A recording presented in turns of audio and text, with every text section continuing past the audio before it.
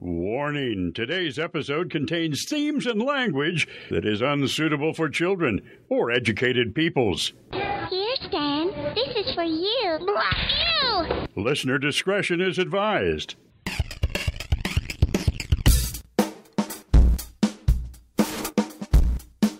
This is the Dunesteef Audio Fiction Magazine.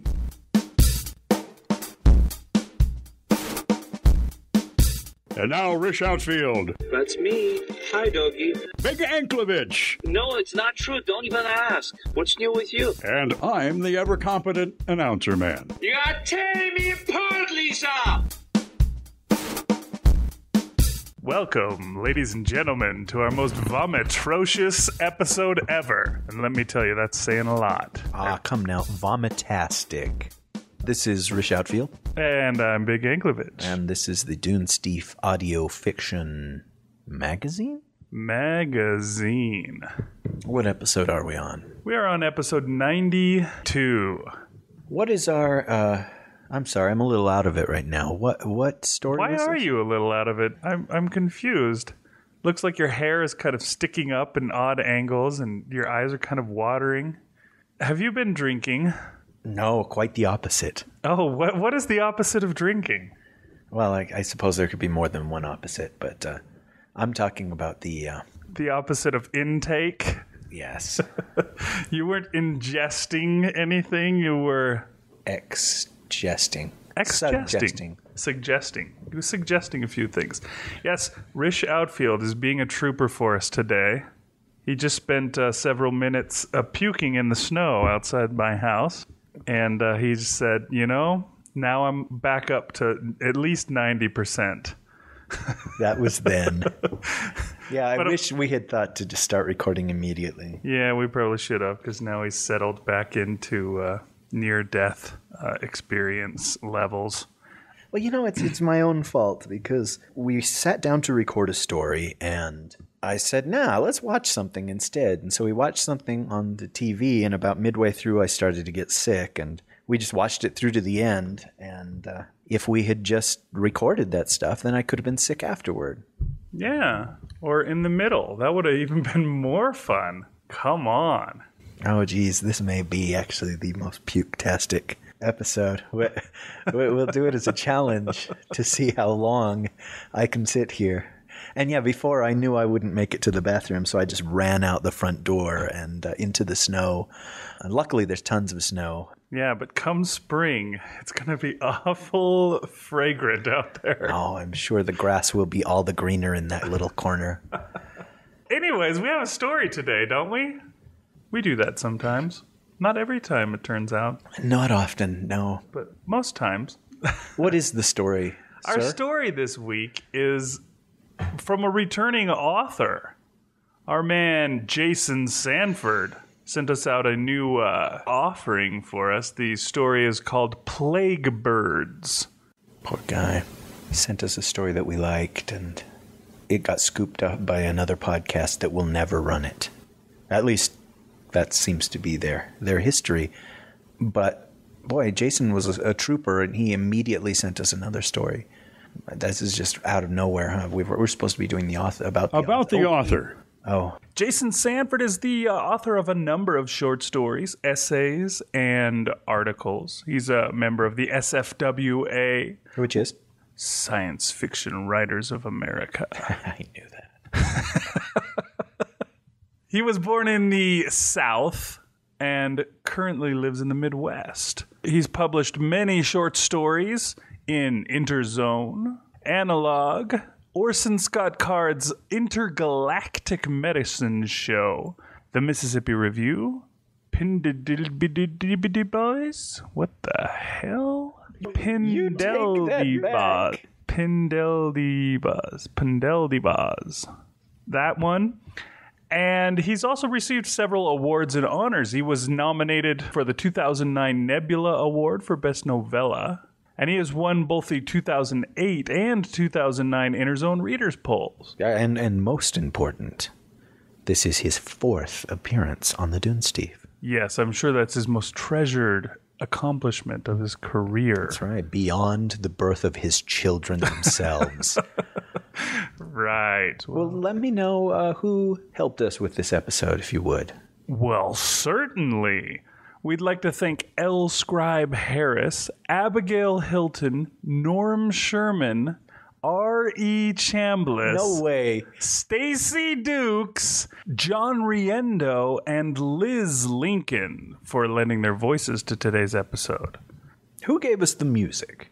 Off the top of my head, I'd say the music came from MDT Music. Uh, you can check out the links for them on the show notes. Also, we'd like to thank Bryan Lincoln for producing today's episode and making it as wonderful as it has turned out to be. I believe that dude even created some of the sound effects for the episode I'd be willing to bet that he did. with did. his own body. and the food from his refrigerator. Is that right? Yeah, that's the funnest for Oh. creating. Don't mention food. Oh, that's right. We better go. Uh, on with the story. Enjoy. Plague Birds by Jason Sanford.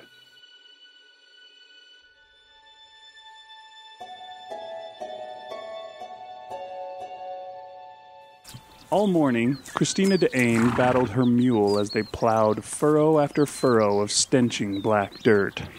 This was Krista's first time working the wheat field since the attack, and Egg Beater took full advantage of her injured body, continually stopping and starting, turning left or right, and destroying every attempt to plow a straight line.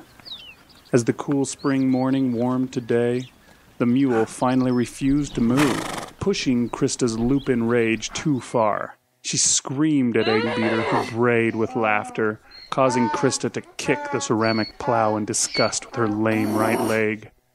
Embarrassed, she glanced around the field, praying no one had witnessed her outburst, only to see Boaton Poller walking along the nearby road. Bo waved, the fool acting for all the world as if they were still best friends. Rip his throat out. Split his guts and spine. Krista gasped as the wolf surged her thoughts. She fell to her knees, fingers gouging dank plowed earth, and spun into dreams of chasing Bo down and tearing him to blood and meat. She wanted Boaton Pollard to pay for what he did, wanted him to roll in pain, to scream for forgiveness, but she knew if she lost control, she'd be little better than him. Breathing deep to calm herself, Krista grabbed the plow handles and pulled herself back up. She glared at the road, daring Bo to pretend any friendship still existed between the two of them. But Bo was already gone. Instead, a deadly flash of red danced along the road, coming to a stop right beside the field. Krista froze, only to be jerked forward as Eggbeater chose this moment to move. She cursed the mule and yanked the reins, but by the time she looked back, the red had disappeared. Krista gripped the reins with suddenly sweaty palms. Was it a plague bird? The mule, sensing her fear, brayed nervously. Krista pulled a carrot from her pocket and fed it to Eggbeater to quiet him, then stood on the plow for a better look. Her lame leg shook with pain, and she gripped the plow's handles to keep from falling. The red flash was gone. Had it been an optical illusion? Or one of the rare unmodified cardinals which still nested in the nearby hills, their feathers as obscenely red as red could be? Krista stepped down from the plow to unhitch Eggbeater. Perhaps it was nothing, or perhaps it was a very dangerous thing hiding itself from her eyes. To be safe, she'd return to the barn. Krista bent under the mule to unstrap his harness. When she looked back up, the plague bird stood beside her, waving a fresh carrot under Eggbeater's nose. Hello, Cristina de Ane. The woman said. I require a place to stay for a few days. Krista couldn't speak. She stared at the woman's scary stalk of red burned hair, at the red line glowing from right eye to lips, at the twin red knives sheathed to her red trousered thighs. Most of all, Krista stared at the woman's pale skin. She could almost see through that paleness to the deadly blood screaming and cursing its way through her veins. There's nothing to be afraid of. The woman said in a tired voice, obviously repeating words she'd spoken many times in her travels. My name is Dorina. Now, please finish unharnessing your mule and take me to your father. The woman laid her hand on Krista's shoulder. Krista flinched and stepped back, causing her lame leg to spasm and dump her in the dirt. A gentle smile splashed Dorina's face as she reached out to pull Krista up.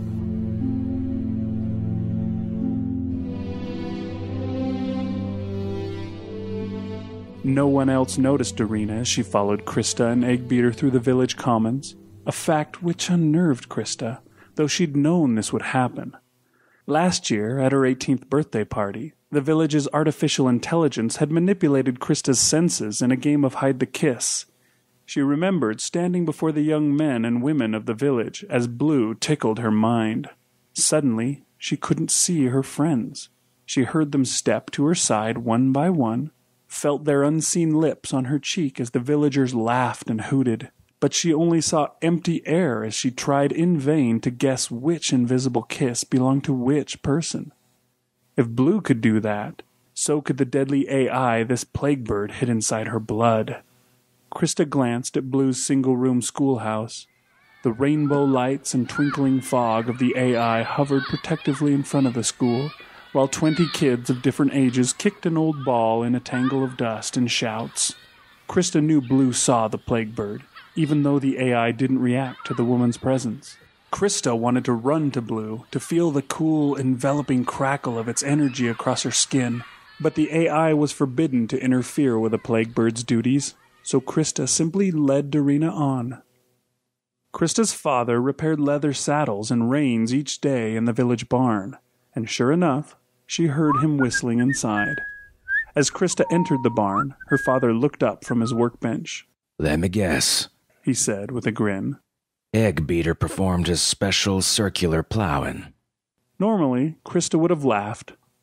They called the mule Egg Beater because he'd plow circles if given half a chance, but instead she ran around the workbench and grabbed her father's hand.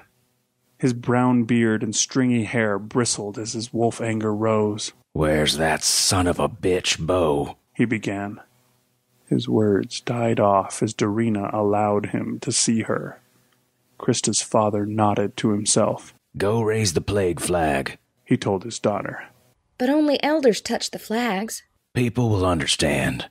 Krista ran as fast as her lame leg could manage to the giant flagpole in the middle of the commons. She opened the ceramic box at the pole's base, strung a red flag to the cable, and pulled it to the top of the pole so everyone would know a plague bird was here. When she looked back down, the villagers and school kids who'd been milling around were running for their houses. Only Blue remained. As Krista limped home, the AI washed a wave of apology in and out of her mind. Although what Blue needed to apologize for, Krista couldn't say.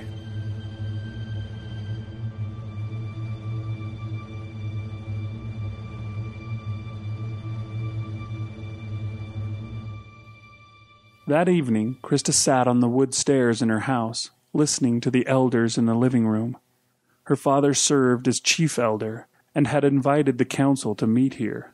I want to know why a plague bird has appeared. Boom, Ms. Poller, as always, her deep voice overpowering her sapling stick of a body. It's been decades since a crime of merit occurred in our village. I wouldn't call your son's assault on Krista without merit, Krista's father said, irritated. But you are correct. There's been no unpunished crime to warrant a plague bird's judgment. The other elders nodded in agreement as Blue's haze of energy and lights twinkled from beside the brick chimney. I remind you that plague birds also visit without cause. Blue whispered in their minds. They keep a watch on all the villages as we AIs return people to humanity. When the last one visit? Krista's father asked. Three years ago, although only I noticed him. Blue said. Plague birds are extremely long lived and visit our village regularly as they wander this land. Of course, the last significant visit we had was a century ago. The elders grumbled nervously. that plague bird had killed a quarter of the village. Since then, every villager's education included experiencing the hell plague birds unleashed if capital crimes went unpunished. Krista remembered the first time she witnessed Blue's memories of those long ago villagers. How the plague bird's AI tore their bodies to meat and bone. Blue had tried to stop the plague bird, only to have its consciousness ripped apart and painfully stitched back together. A clear warning that the plague bird could have destroyed Blue if he'd desired. Fear, scared sense, mouth silent screaming. Krista closed her eyes to silence the memory, Krista smelled the elder's urine tinged sweat, felt the nervous static from Blue, and knew everyone was reliving the same memories as she. Well, where is this woman? Ms. Poller muttered. In our guest room, resting, Krista's father said. She's exhausted, perhaps ill. Ms. Poller sputtered in anger. She's staying in your house? What do you plan to do? Beg her to kill my son? Krista scented the wolf rising in her father, and for a moment thought he'd attack Ms. Poller. Several elders growled as they sensed the same peril. But instead of attacking, Krista's father calmed himself. Tell them, Blue, he said. The plague bird intends to visit a hunter clan in the surrounding forests and desires Krista to guide her. The AI intoned. The plague bird also has an interest in Bo's attack on Krista, an interest we can do nothing to stop. Ms. Poller's face blanched as Krista stood up to protest. She didn't want this so called interest. She wanted the plague bird to leave her alone. But Blue whispered in Krista's mind to remain quiet. So she did. That's when Krista knew she had less choice now than she did in the days and months after Bo's attack.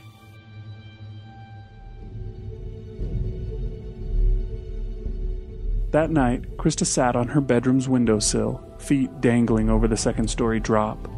Krista loved the night, all moon glow and tangy forest scents, and the urge to run howling after the hunt. Not that Blue and the elders approved of such base actions. Although she was sure all the villagers had sneaked away at one time or another for just such a thrill. Krista glanced at the flickering candlelight in the guest bedroom window beside her. The pressed glass showed only the room's empty bed and furniture, but Krista's instincts whispered that the unseen plague bird stood before the window, watching. Suddenly, a familiar scent washed over Krista. Gentle kiss, bow muscling neck, mating urge, what's so sweet in spring? Krista ignored the wolf's pleasant memories, instead growling a warning as she leaned forward on the window sill, ready to attack. Bo stepped from the dark trees a stone's throw from the house, his hands held up in surrender. What do you want? Krista whispered. She didn't want to wake up her father, who would likely kill Bo for being so near their home. I was passing by and saw you on the window. Reminded me of good times. Krista smiled as she remembered the spring night a year ago when they'd last met this way. She'd leapt from her second story window to chase him through the dark forest finally cornering him beneath a fallen hickory. Krista sighed. She and Bo had been best friends all of their lives, and she'd always believed they'd one day marry. When Bo kept control, he was a lovely man. But the problem was that as Bo aged, his pox gened tendencies worsened despite Blue's constant tinkering. Finally, last fall, he broke. He and Krista were walking around one of the wheat fields at night, holding hands and watching the clouds play slash and hide with the moon. Suddenly, Bo attacked her. He smashed her face over and over and shattered her leg before catching himself, a gasp of horror in his yellow, glowing eyes. The elders had restrained Krista's father for several days to keep him from killing Bo, while Bo himself said he deserved to die for his actions. However, the other elders decided against that punishment, reminding everyone the pox had gened Bo so badly not even the AI could make him whole. They branded his right hand and warned him he'd be killed if he lost control again. Now Bo stood below Krista, seeking forgiveness for something she'd never forgive. Get out of here before my father scents you, Krista said. You know what he'll do. Bo nodded, bowing with a dramatic flair as he backed into the woods. A dark figure grabbed Bo and kissed him with a female growl before bolting into the dark. Bo looked sadly at Krista before chasing after the woman. Krista wondered which village girl risked Bo again losing control. She tried to convince herself she no longer cared. As Krista pulled her numb leg back into the room, she glanced a final time into the guest bedroom. The candle there flickered and disappeared as unseen lips blew it out. Krista shivered. She realized Ms. Poller's fears were right. The plague bird was here to kill Bo.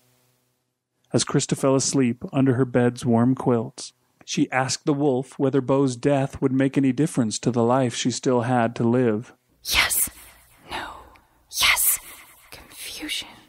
The wolf whined so much that Krista gave up her question and simply joined it in running through the forests of her dreams.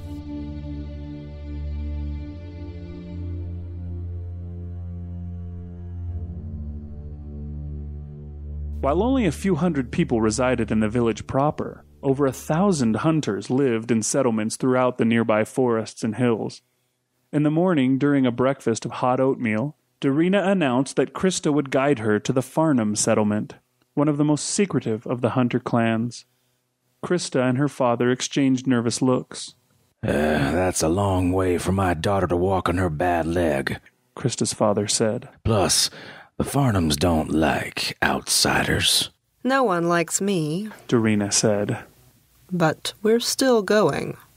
Krista's father clenched his fists in irritation, struggling to remain calm. He walked to a closet and returned with an ancient ceramic pistol. Krista reached for the gun, both honored her father would let her wear it, and nervous he thought it necessary. However, Dorina said no. She goes unarmed. Blood boiled her father's face, and he ah. literally shook. Unable to speak, he hugged Krista tight and stalked out of the house. He has good control. Dorina said. I like that in a man. Krista turned away, not wanting to reveal how badly her own instincts screamed to join her father in ripping the plague bird's throat to bloody shreds.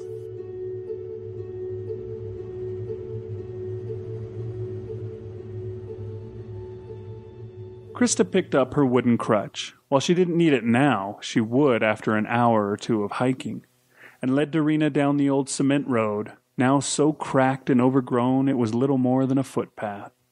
Krista had often been tempted to hike the road to the next village, which lay only a few days' walk from here, but only plague birds and hunters traveled as they liked. All villagers remained under the watchful presence of their AI unless otherwise directed. It was difficult enough keeping control during the day to day irritations of life, but to travel beyond the calming reach of your AI, that would truly risk one's hard won humanity. A mile from the village, they passed Bo, returning home from his previous night's fun with his unknown woman. Krista scented sex on him, and even though she told herself not to be jealous, a slick of vomit coated her mouth. Suddenly, Krista's head tingled and Bo's face flushed to fear. He stared at Dorina, for the first time seeing her bright red hair and clothes. Like a rabbit bolting from a hungry coyote, Bo ran down the road toward the village. He still loves you, Dorina said. and your village AI is correct. His love borders on obsession. Krista's lips quivered as she remembered Bo standing over her body, smashing and slashing as blood played across his face. Why did you reveal yourself to him? If I'm by myself, I desire people to see me only when necessary. But since you're here, people need to know that if they hurt you, they'll answer to me. Krista didn't ask any more questions. Soon, they reached the trail leading into the forested hills. Krista leaned on her crutch as she glanced up the dim, narrow path. She'd only been here once, when she was fifteen and her father led a group of villagers in bringing an injured hunter back to his clan. She'd been shocked at how the hunters lived, in old, cramped houses and shacks, far from the ability of an AI to protect their body or mind. Now, as she stared up the leaf greened trail, she imagined a thousand lunatics like Bo hiding behind every tree waiting to kill her. Sensing Krista's fear, Dorina removed her red leather vest and one of her hip knives and handed them to Krista. So everyone knows you're with me. Dorina said.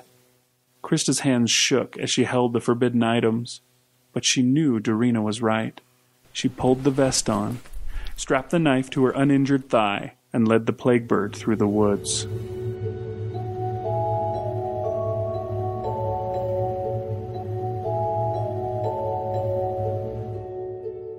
They were being watched.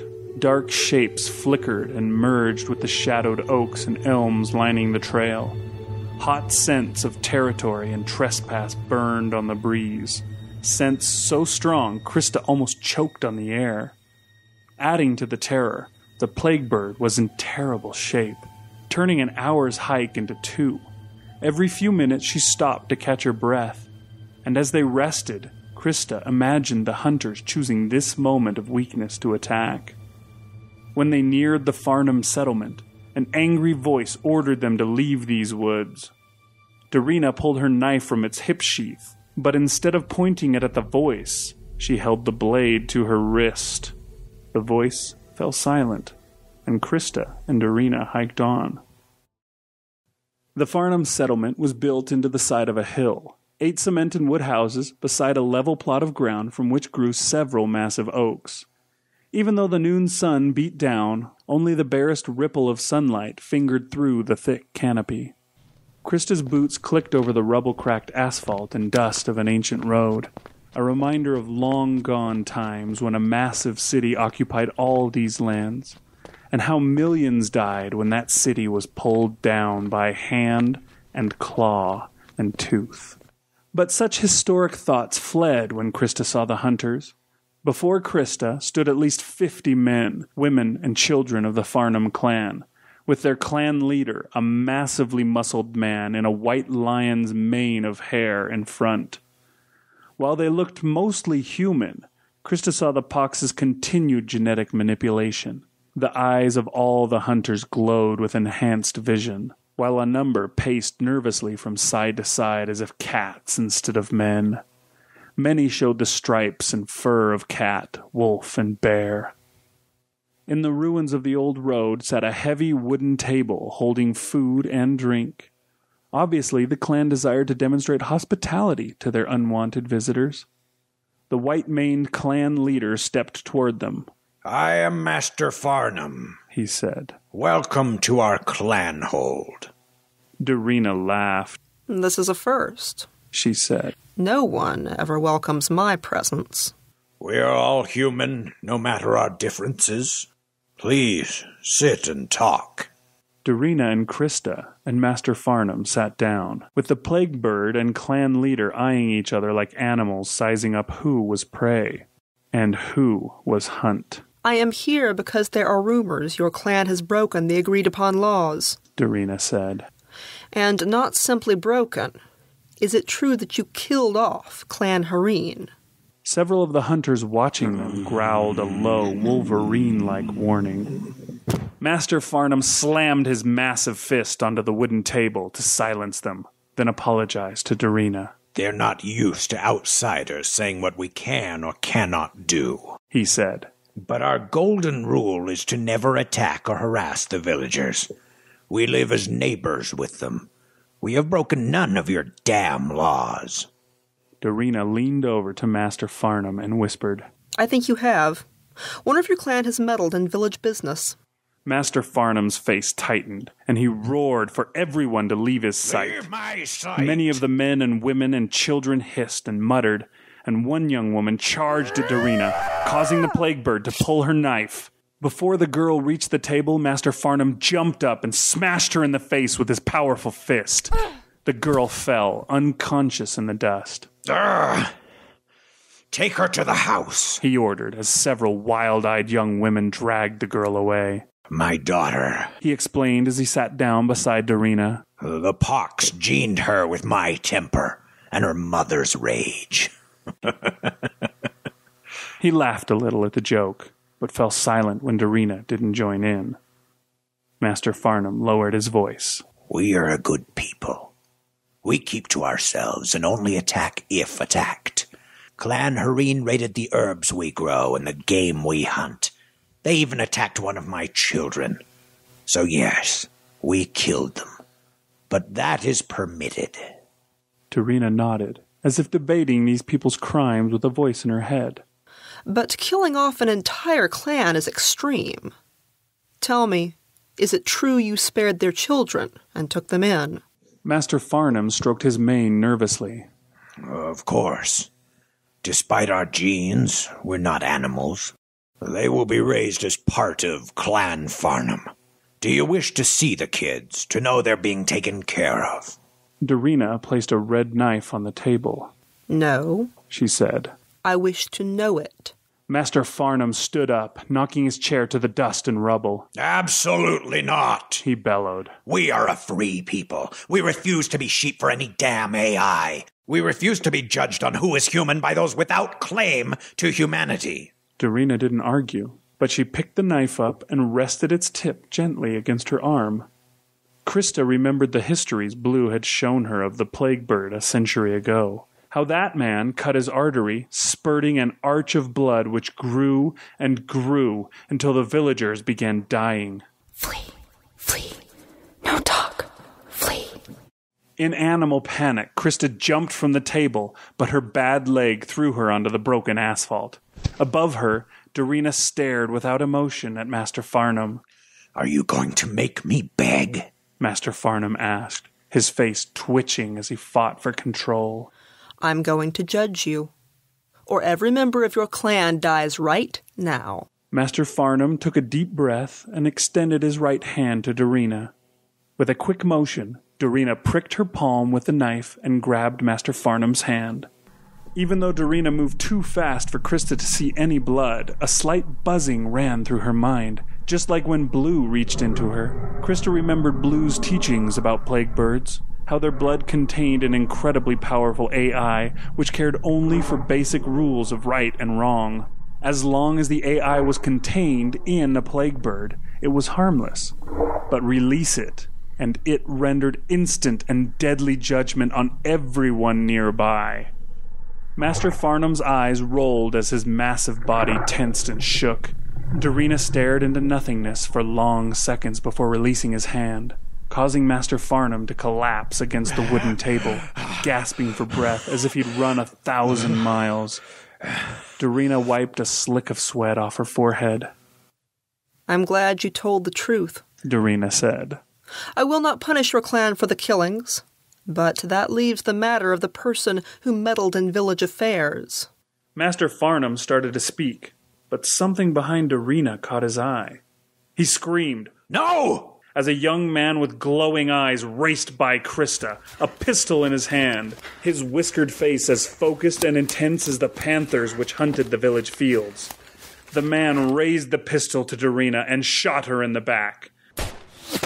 A spray of blood exiting between her breasts. Dorina turned to her attacker, pain and fury on her face. She kicked the young man backward, then pointed at him and shouted, Not them. Him. Only him. For a moment, the bloody mist in the air around Dorina wavered, demanding more before acquiescing and raining onto the young man. The air quivered to tears of justice as the man thrashed and screamed for mercy, but the AI gave none. It exploded the man's lungs into shreds of pink tissue and ate its way through his brain, all the while refusing to let him die. Finally, after a forever screech of pain, the man's body ripped in half from head to legs, and the cloud of blood returned to Dorina's body. The bullet wound in her chest closed as if by magic, until only a puckered scar and a hole in her red shirt showed where the projectile had hit. Master Farnham roared a deep lion's scream of anguish. He fell on all fours and pounded the broken pavement with his fists before finally regaining control. The fool had it coming. He yelled at his clan folk. You know the rules. The hunters growled in fear, but they stared at the splash of blood and tissue soaking the ground and didn't attack. Master Farnham crawled over to Dorina and kneeled before her. Please forgive us. He whispered, his angry eyes glowing fire. The boy wasn't thinking. He wanted to defend my honor and forgot the consequences. Dorina nodded and said the young man's actions wouldn't count against Master Farnham's clan. But there is still the matter of the person who interfered with village affairs. I will return in two days to deal with that. I suggest you impress upon your people the need to avoid a repeat of this tragic affair. With that, Dorina walked back down the trail. Krista stared at the people around her as the hairs on her neck stood up. Several hunters held back Master Farnham's daughter, who had woken up and now howled in inhuman anger, fighting to reach and kill Krista. Suddenly, deeply afraid, Krista picked up her crutch and hobbled after Dorina. Once they were clear of the forest and back on the old cement road, Dorina sat down hard in the sunlight. She took the red knife and vest back from Krista and sighed. That took a lot out of me, she said. Keeping the AI from killing all those people. Did you have to kill that man? I didn't want to. But if I hadn't given the AI someone who dared attack me directly, it would have gone berserk. With my body so weak, there are limits to how well I can control it. Must you go back there in two days? They'll be in an angry mood. Master Farnham might not be able to hold them back. It's worse than you know. That young man was Master Farnham's son. As we left, he was debating whether or not to give in to his animal side and attack us, even if it meant the death of everyone he loved. Krista glanced at the giant trees growing along the road as the breeze blew to the whisper and pad of angry animals.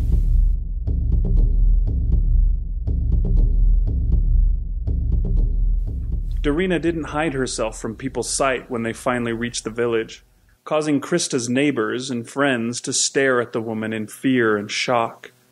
Krista led Dorina to the house and helped her up the stairs to the guest room, where the plague bird collapsed into bed. She said she didn't want to be disturbed, then closed her eyes and fell asleep. Not sure how to help the plague bird, Krista sought out her father, who was in the village barn with several of the elders, including Ms. Poller. Krista told them what happened. The Farnham clan will kill us, Ms. Poller whispered. Krista's father shook his head. I doubt they'll attack with a plague bird here. Still, it'd be wise to post an armed watch tonight. The other elders agreed and began discussing plans for how to deal with the Farnham clan. Krista, knowing she was no longer needed, walked out of the barn. Bo waited outside for her. Are you okay? Bo asked. I heard what you told the elders. Krista smiled at Bo's concern, which etched so sincerely across his lean string bean of a face. But she also saw the memory of Bo attacking her with animal hunger, of her blood spraying across that same lanky face. She cursed humanity for playing genetic God so long ago, resulting in people so warm and human one moment, all animal and anger the next. I'm fine, Krista said. but seeing that man torn apart by the AI, I forget what Blue showed us about plague birds. This was worse. Far worse. Bo reached out to hug Krista, jumping a low growl from Krista's throat. Bo stepped back cautiously. There's nothing I can say to make up for what I did. He said. And you're right not to trust me. It's becoming harder to stay in control. Sometimes I go running in the woods and know that's who I am a hunter, not a villager. Krista gripped Bo's hands, causing a ripple of passion in his eyes which almost overwhelmed him. She also fought for control, shouting through her mind as animal impulses raced by. Mate. Flee. Fight. She smelled the barest touch of last night's sex on Bo, and her thighs shook. Bo, I've always loved you, and you're a good man when you're in control. But every time I see your face, I remember what you did. I can't get past that. Maybe one day you will. Bo said hopefully. Maybe. Krista said. But even as she said the word, she remembered the anger which flashed in Master Farnham's eyes when Dorina killed his son. Some things you couldn't put behind you, no matter how hard you tried.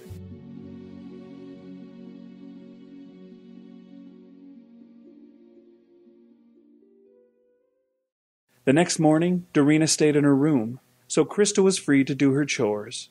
Even though her leg hurt from the previous day's hike, she and her father finished plowing their field and sowing it with modified wheat.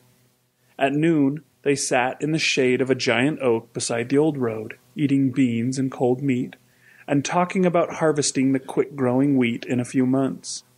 Soon they fell to simply watching clouds scud the hot sky. That was how Blue found them. How goes the day?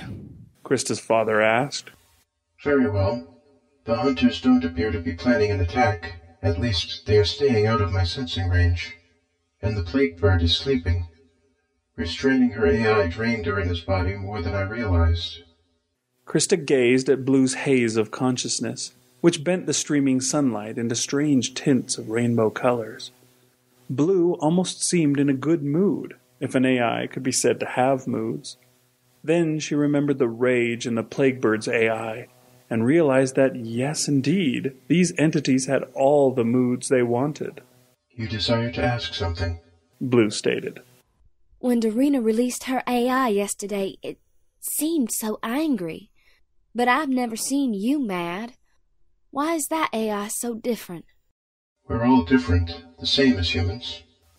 But why did people create something as evil as a plague bird's AI? Blue expanded outward until the AI's lights reached the top of the oak tree, before collapsing back into its normal cloudlet of haze. Krista had been around Blue enough to know that was its equivalent of a sigh. What I've taught the villagers about history is correct, but there's a difference between knowing something and experiencing thousands of years of it. Humanity had changed beyond all recognition due to excessive genetic manipulation, resulting in insanity and chaos on a massive scale.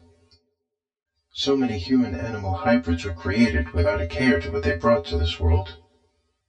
To seek a return to order, one group of humans created empathic AIs like myself to watch over and guide pockets of humanity back to your original ungened state. Others, seeking justice for perceived wrongs, created absolute AIs to dispense punishment. There were also the hybrid humans who liked their gene lives and didn't want to give them up. So a balance was created. The hunters could live their lives within certain constraints, while AIs like myself would attempt to return isolated segments of humanity to their original state. And the plague birds? Krista asked. The only true balance is between three parts, so we needed the absolute AIs to enforce the agreement. But they're so harsh we couldn't trust them to freely roam the land.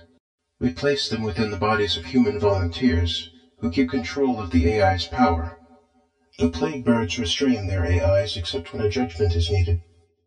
Krista had never heard humanity's history explained in such stark terms. From the look on her father's face, he hadn't either. Why are you telling us this? She asked. Because trouble has entered our village, and while Dorina has held her AI in for many centuries, her body is weakening. She won't be able to contain it much longer. For a moment, Krista didn't understand what she was hearing, but her father did. He jumped up and howled no, No. and a scream ripped No. straight from his wolf genes. He grabbed Krista's hand and dragged her away from Blue, muttering, No, no, hell not. No.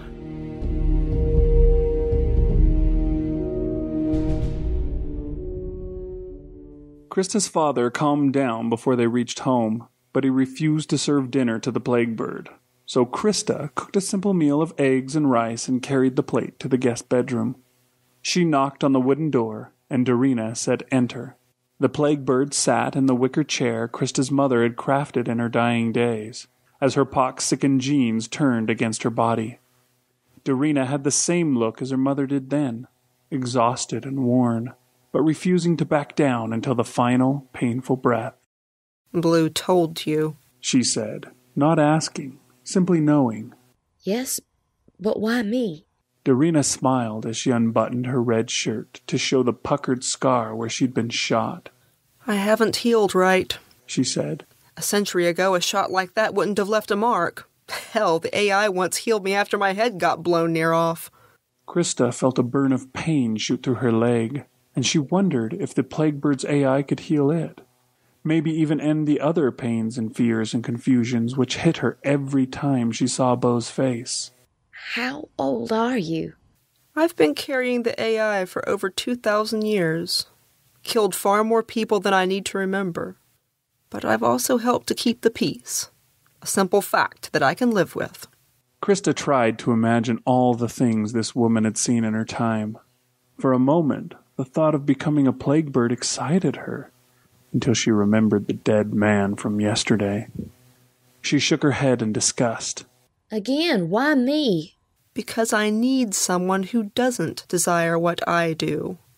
Someone who will fight the AI inside her, only let it out when absolutely necessary. I'm sorry, but I won't do this. Dorina nodded sadly. That's exactly why I want you. Still, it must be your choice. You should know that if you don't do this, Bo will kill you. Krista jumped back, a wolf growl in her throat. What? He loves you, yes. But his condition is rapidly progressing as his genes force him through changes that Blue can no longer control. The problem, though, is that Bo obsesses on you. No matter how he fights it, he wants you. Blue is correct that one day, when Boaton Pauler's animal side gains control, he will kill you. Then you must kill Bo. No. I only kill for the actions people do, not for what they may do. But Blue was right to call me here. If this isn't handled properly, many people, both villagers and hunters, will die. That night, Krista stood among the newly planted furrows of her family's wheat field, leaning on her crutch as she kicked the dark soil with her good foot. Above, a quarter moon shone in the clear night sky, stirring the wolf inside Krista to excitement. She remembered Blue's history lessons, how humans once walked on that milky world. She wondered if humans would ever do so again. Krista heard a faint rustle from under the dark fence lined trees beside the field. She couldn't see anything, and wished she still had the gened eyes of her ancestors. The faintest of growls reached her as a black shape stepped from the trees and charged. Krista stood calmly, refusing to flee. Suddenly, night turned to day. Above her, blue burned like a tiny sun, casting white flicker shadows across the field and surrounding trees. Bo looked up in shock, clawing at his night eyes as he stumbled over the furrows. Krista dropped her crutch and grabbed the net at her feet and threw it over Bo as her father and Dorina appeared next to her. Blue had blocked their sight and scent from Bo's senses. There's another, Dorina said, pointing at the trees. In the beam of Blue's light, Krista saw a hunter, Master Farnham's daughter, who tried to attack Dorina the other day. The girl bolted, running amazingly fast, but other villagers appeared from where Blue had cloaked their presence and tackled her. She howled and bit and rolled, but they held her fast. By the time Bo and the girl were dragged before Dorina, Ms. Pauler had run to the scene. She fell to her knees before the plague bird. Please, She pleaded. he's still my son. Dorina shook her head. He tried to attack Krista. Your own elders agreed that if he did it again, the punishment was death. However, he's not the only culpable person here. For the first time, Ms. Pollard noticed the hunter girl beside her son. It appears Master Farnham's daughter is interested in your son, Miss Pollard, Dorina said. She's been encouraging his animal side, pushing him to attack Krista, no doubt trying to remove a rival for his affections. Then my son isn't at fault. Ms. Pauler said. Everyone's at fault. Dorina said in a tired voice. All that matters is who ends up dying.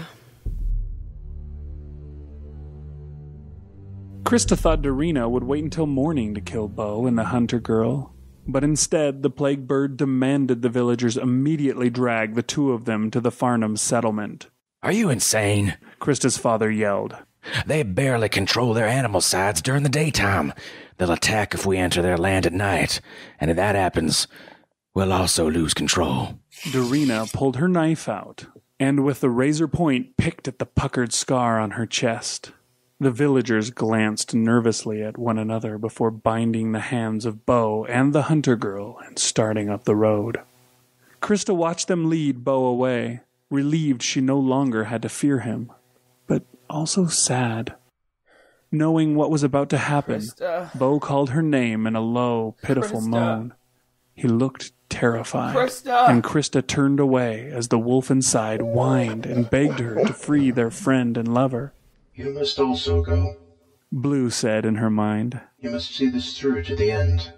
If I watch Bo die, I, I don't know if I can keep control. She said. Trust me, Blue said. You'll have control. Krista nodded and hobbled on her crutch after the villagers. Blue lit their way, a moving sun chasing off shadows. Dorina could barely walk and leaned on Krista's father for support. More so when they entered the perfect black of the forest and wound their way up the hilly trail. Hunters howled and shrieked in the darkness, and every villager huddled close to the protection of Blue's light, fearful of both the hunters and their own reactions to the bloodlust all around them. As they neared the settlement, the roaring voice of Master Farnham asked why his clan shouldn't kill them right My now. clan kill you right now. We didn't want to come. Krista's father yelled back. The plague bird forced us. She has your daughter. Silence paused the night. Dorina motioned for the villagers to continue. When they reached the old road before the houses, Krista saw the hunters pacing back and forth in an agitated state. If they'd been scary in the daylight, now they were terrifying. Their eyes glowed fire to Blue's illumination, and their throats crackled in hungry growls and moans. Fight. Blood. Flee. Krista bit her lip to silence her instincts. She watched as Master Farnham stepped before them, a massive ceramic sword in his right hand. He leaned over his daughter, who sat in the dust and rubble of the road with her hands tied, and kissed her.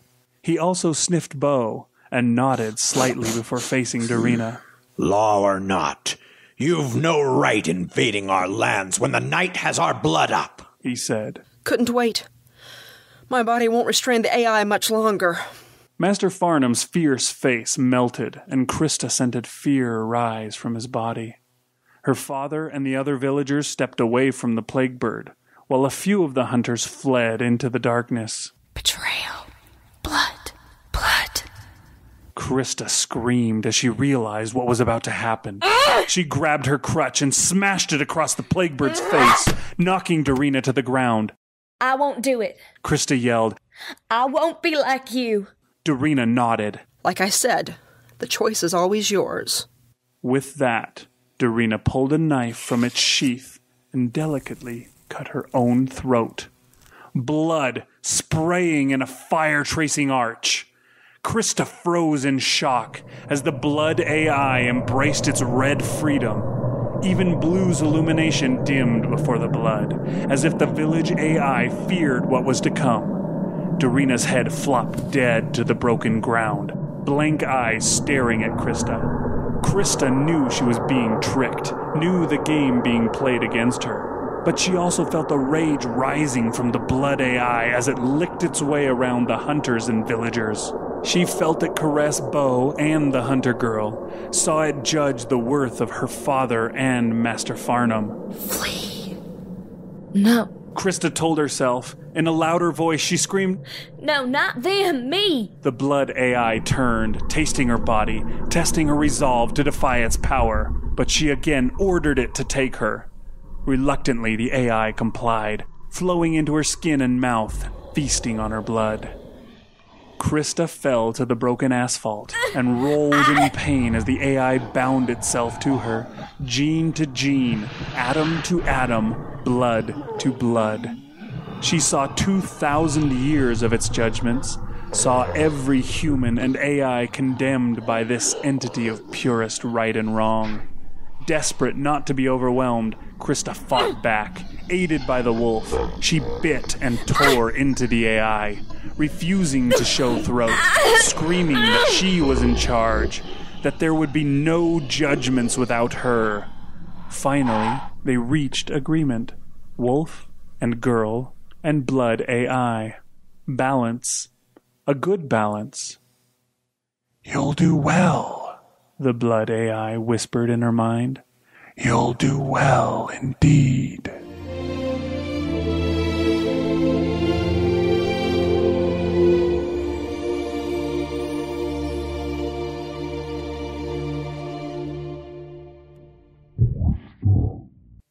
Krista woke to her father shaking her body, repeating her name over and over.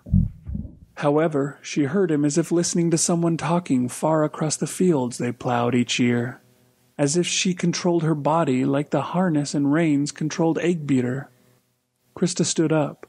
The hunters and villagers stared with fear. Even Blue floated away from her. Krista stretched her lame leg, which moved without pain for the first time since the attack. She walked over to Dorina and pulled the red vest and shirt and trousers off the dead woman's body and dressed in the forbidden colors. She strapped the twin knives to her thighs and pulled one knife free. In the polished sheen of the blade, she saw her face. A glowing red line ran from her right eye to lips. Her hair burned brightest red. She turned to Bo and the hunter girl Mrs. No. Poller cried and tried to stop Krista, No. but Master Farnham held the woman back. However, instead of killing either Bo or the girl, Krista simply cut their bonds. She pointed the knife at Bo. You will never return to the village. She said, You will live with Master Farnham's clan. Assuming Master Farnham has nothing to say against that and lets the villagers return home in peace. Master Farnham kneeled before Krista and thanked her. Thank you, Plague Bird. Joined by a grateful Ms. Poller. Bo and the hunter girl held hands and bowed. Bo looked at Krista with a mix of love and regret, but those emotions quickly fled as Krista allowed the blood AI to lick into him and whisper that this was his final chance. The urine tang of fear scented Bo's body. Krista turned from Bo in disgust. It no longer mattered what he'd done to her, only what he did to others in the future. She looked at her father, whose tears streaked the dust in his beard.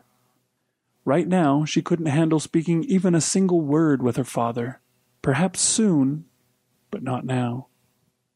I don't want them seeing me, she thought. Instantly, the AI rumbled in her blood and reached out to the villagers and hunters. People glanced around nervously, trying to see where she'd gone. Only Blue still saw her. Krista looked at the AI and saw past its deceiving cloud of light, saw its consciousness extending into other dimensions and across time, saw its overriding dedication to returning humanity to what they'd once been. There was no choice. If you'd stayed, Bo would have killed you, and we'd have had to kill Bo. This way, you both live. The wolf growled. What right did Blue have to decide her fate like that? To calm Krista, the Blood AI whispered a truth. In order for humanity to truly return to the way they'd been, AIs like Blue would have to cease being the protective gods of every village. When those days arrived, it would be as easy to kill Blue as for Krista's old body to crush an egg. Blue sensed the Blood AI's thoughts and shrank in fear from Krista. The Blood AI laughed. I'll be keeping a close eye on the village. Krista told Blue. Don't disappoint me. With that, she walked down the trail, the night scents mingling to the Blood AI's whispers until she didn't care which part of her was human, or wolf, or hunt at all.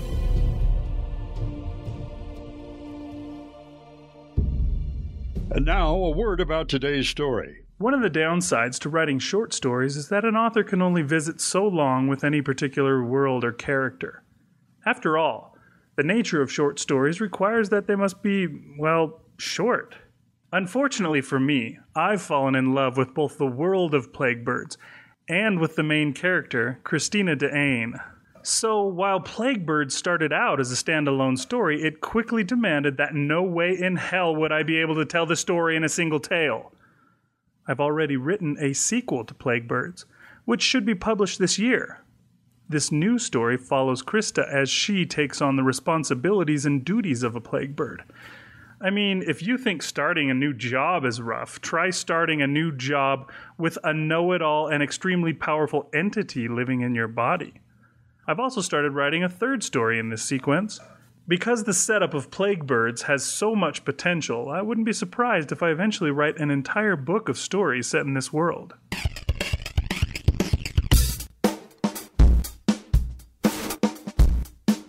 Okay, welcome back, folks. I hope you enjoyed that story. I'm still with you. Oh, that's good. I didn't think you were going to be able to raise your head back up off of the table. It's such soft wood. uh, it is pine.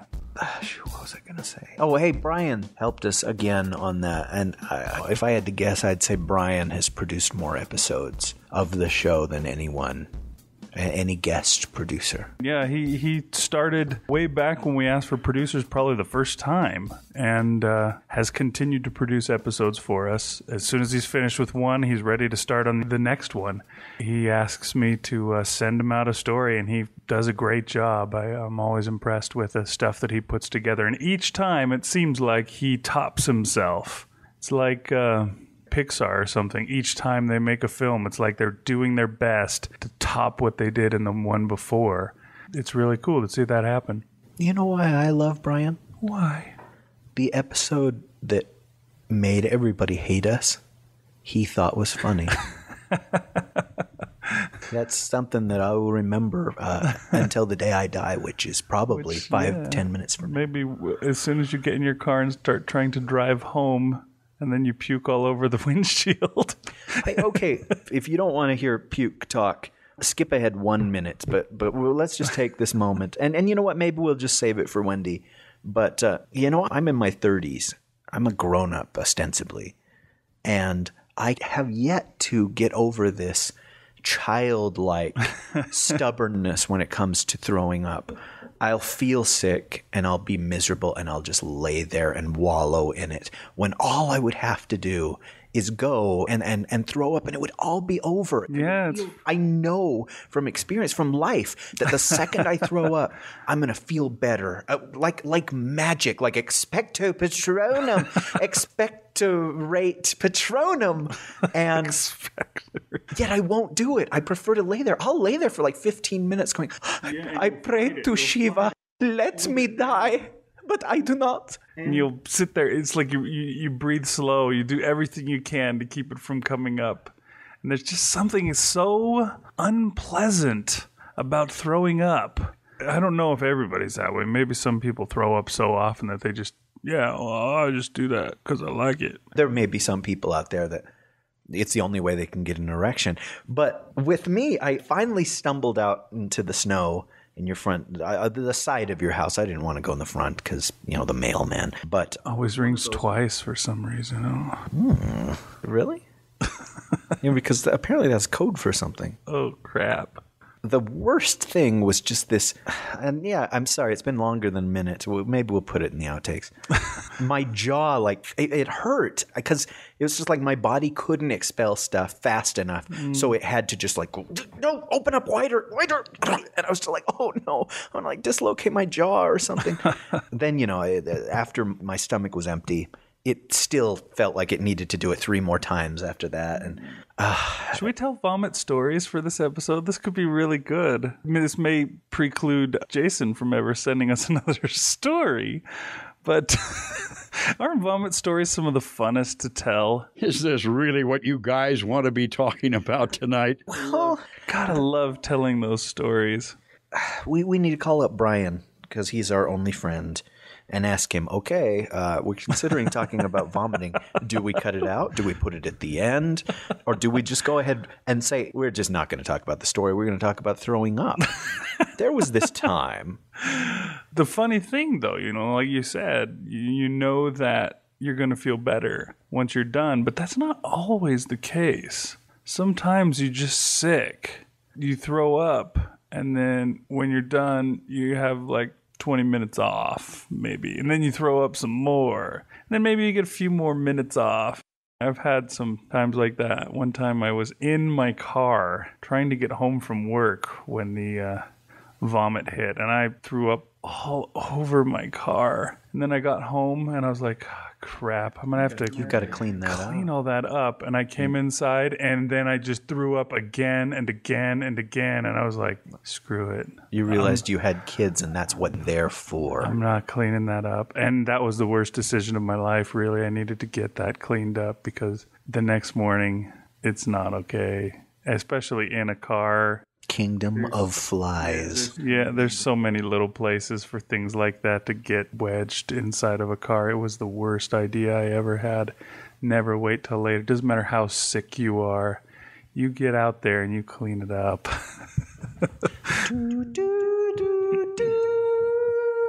okay, so back to the uh, story. The oh, worst vomiting experience for me ever was I can't take it again. Good night, everybody. I was in a, a strange place where we were surrounded by people I didn't know, and I was so so sick. I was at a bus station. It was I, one of those things where I was so sick that I had no sense of germs or decorum or whatever. You put your forehead against the toilet seat of a bus station toilet, kind of thing. And anyhow, I, I threw up and Oh, it wasn't just throw up either. It was it was coming out both ends almost at the identical time. And then I, I looked on the rack and there was no toilet paper. It was just empty. And the men's room attendant, he, he was you know he was just outside the. Oh, it was uh, like the, the probably the lowest point of my entire life. And I begged this man to give me toilet paper and he wanted to sell it to me. He wanted me to pay him for the toilet paper. I don't want to get into any religious topic, but if there is a hell, this man who tried to sell me toilet paper underneath the stall, he's going to be there. and maybe I'll greet him with a, a hug and we'll laugh about it, but it was so sad. And then to beg to have to beg after this awful, humiliating, really dirty experience. I don't know. It's one of those things. If you could die of shame, that probably would be applicable. Uh, and you? I never had to beg for toilet paper. I'll have to admit. I don't know if I could pick which one would be my worst. I'd have to put some thought into that. Well, the car the thing is, is covering the car with the puke was pretty bad because I have to drive that car to work every day. It, it was probably more than a month before it ever stopped smelling. Oh no. It was really really bad. It was all over and it was in the air conditioning vents. And I tried to scrape it out of there. It would not. It was so so foul. No amount of Febreze could get rid of the stench for some reason. You had to total the car. There was no other recourse, but you just drove it to an impound lot and said, "You got one of those big crushing things." it was just so bad. It took so long for it to go away, and I've had some pretty good vomit experiences over the years. But yeah, that that was probably one of the worst. I, I think I mentioned on the show once a long time ago about the time when I was on a bus that. Uh, somebody had thrown up on the floor of the bus. And we were all sitting there going, oh, Jesus, you can't go anywhere. You're on the bus. There's no way to get away. You got to get to your stop before you can. And then somebody else sitting next to the throw up threw up out the window of the bus and I was like, "Holy crap, I got to get out of here before we freaking float down a river of puke." it was pretty bad.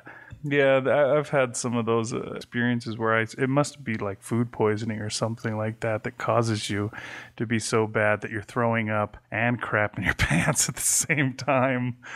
And yeah, there was a time when I was so, so sick that I was just friggin' delirious as I got up all night long to puke and then crap and then puke. And then, you know, it was like standing up, turning around, standing up, turning. You just kept huffing. Oh, it was bad times. I guess that's just some of the joys of living. we, uh, I went to see this film uh, with Jon Lovitz. Uh, I wasn't with Jon Lovitz, but he was in the film. It was called High School High, and it was really bad. But I've always loved Jon Lovitz, so I figured I'd give it a chance. And I don't know, about a third of the way through the movie, I guess a bunch of frat guys snuck in and they sat at the very, very back row, back center, and you could hear like their bottles clinking. And I guess they were just binge drinking for fun. But uh, at one point, you could hear the noise in the back. And then this strange phenomenon occurred where people started screaming and jumping up and in the middle of the movie. And I guess what had happened is he'd vomited this ton. and the way that a theater is built is the floor is stadium seating in a decline and it just started to run and people were sitting there and this river would run to their feet and they would shriek and jump up and move and i have no idea if uh, high school high was that bad a movie or if it was just the experience but yeah it's not something i ever felt like revisiting i think the real question is what do we do with all this conversation I don't know. I know that you've told that frat guys in the back of the uh, theater story once before on the show because I remember pretending that I was the guy in the back and saying, "Oh yeah, sorry about that, man." oh you're right shoot i'm sorry And I know that I've told the bus vomit story before too. So Look, the fact that we told those stories on the show before means that we, I guess, weren't afraid to talk about vomit at a different time. So I guess not. That's interesting. We can move on from vomit from here, I guess. But oh, here's the thing. Let's say that we get on Facebook and I ask a question in a public forum of, well, should this be cut out? Should it be put in the outtakes? Should it be put at the end of the episode? Should it be leave, left in? I imagine that the people who don't want to hear it, even if they are outweighed by the people that are like, oh, everything you do is fun, they'll really not want to hear it. and so, should I even bother asking what people think? Yeah, I don't think it really matters. We just put out our show. Okay. It's topical because you just finished throwing up. All right, so let's end all the throwing up conversation now, unless. Now? Wait, you really want to quit now? You know, we could make a game of it. The squinting and groaning makes me think. Well, we could see if you could say something disgusting enough to get me over the edge. Oh, that would be fun. Welcome to Make Rish Throw Up, the game show that people are gagging over. The Plague Bird story was it was long. Yeah, it finishes up at 52.32, so it's pretty long. Okay, so it's almost an hour. But this was another one of those really arduous reads. Uh, not so much for you, I think, as for me. I, I wasn't sick. I just I couldn't stay awake, and, and you were reading it, and it took us a long time. And was it because it was late at night, or Yeah, I was think this? that's generally uh, the problem that we have when we have a really hard time with a story is you combine two things. A, we're recording it at the very, very end of a long night usually, so it's 1.30 or so when we start, and then it turns out to be a really long story. So you put the late at night along with a long story, and by the time we're done, I can tell a lot of times when I'm editing and I'm like, oh, I'm starting to sound tired here. I think I'm running out of gas. I wonder if I'll make it to the end. Gosh, there's got to be some solution to that, and I don't know what it is. More caffeine? Because you were, and then you have children. And we've found that trying to record when the kids are up is not possible. Or, well, it may be possible, but it's just not practical. Not a good idea. Too noisy and too many interruptions. Not only are they noisy outside the door, but then they keep coming in and saying, Hey, I just wanted to come in here and say hi and stand here and talk to you and until you kick them. That's always the best method I've found with kids. I learned that from Dr. Spock. Not Mr. Spock, Dr. Spock. He's Yeah, you lost me with Doctor.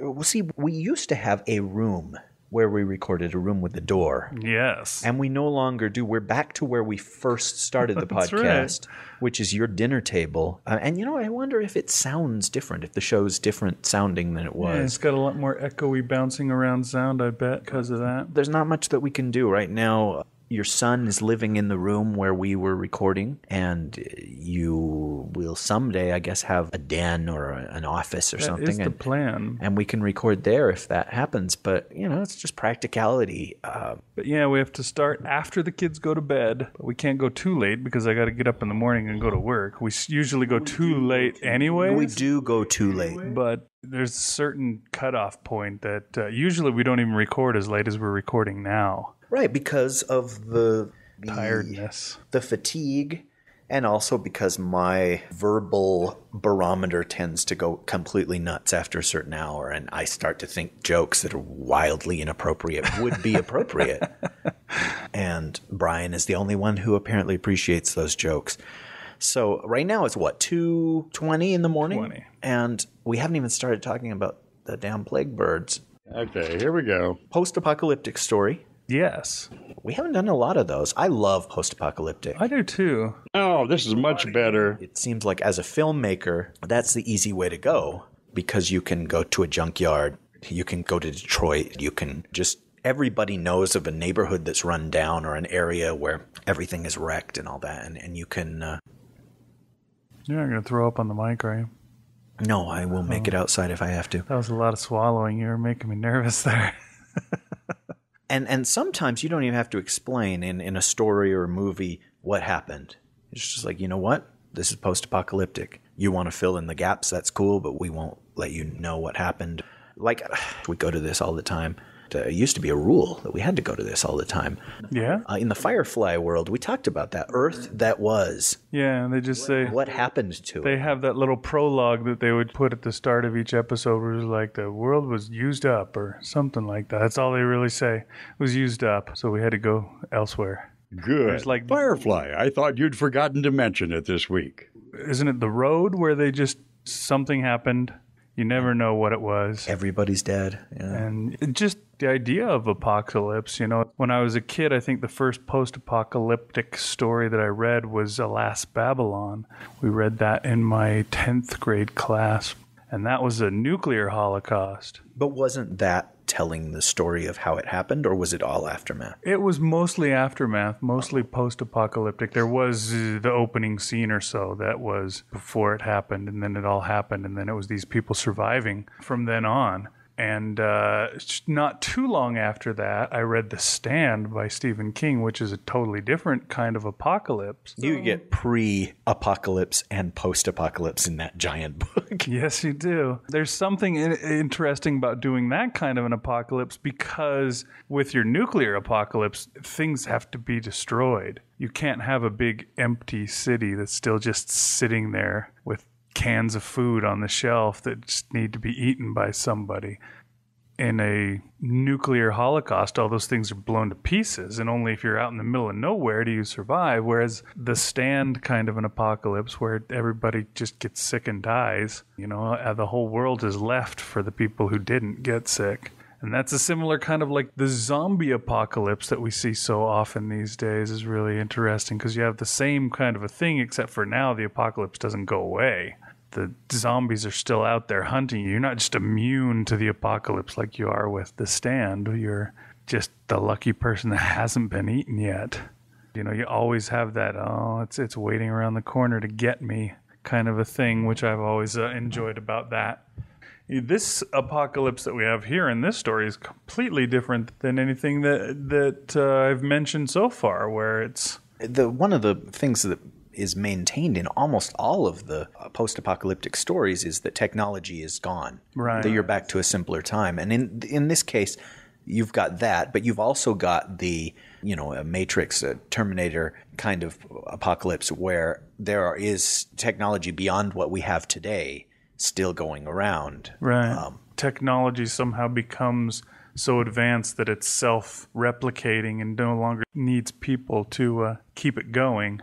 Just does it itself, which is uh, something different than than those kind of apocalypses where, yeah, I mean, you don't have people around. How are you going to make an iPad? You know, even the guy who invented the thing probably couldn't do it without somebody else making all the pieces for them. Our society these days is so interconnected here and there and everywhere that nothing stands on its own. Pull the rug out from under it, and yeah, it's just all going to fall down. have you ever written a story set in a post-apocalyptic universe? Yeah, a few. That's one of my favorite things, you know, from early on. Like maybe from reading Alas Babylon, one of the first big ideas that I ever came up with way back when I was still in high school was all post apocalyptic. After the nuclear bombs had fallen and destroyed the world, and all the people had to live in underground cities, and then there was people up above that were Mutated. mutated and they were able to survive on the ground, whereas the regular humans were all hiding out in technological caves underworld.